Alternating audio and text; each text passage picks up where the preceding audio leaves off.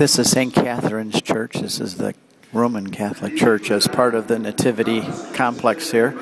And uh, we're having a Mass here now. This is where the Christmas Mass, Christmas Eve Mass takes place in Bethlehem.